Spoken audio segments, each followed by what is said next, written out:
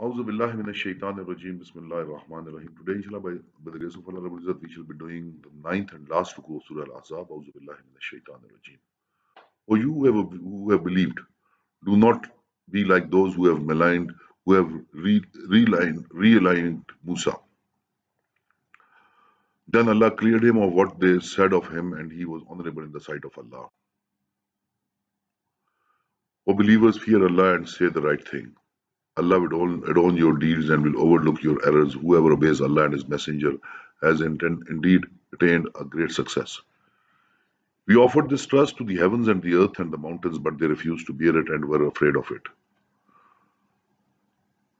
But man undertook to bear it. Indeed, he is unjust and ignorant.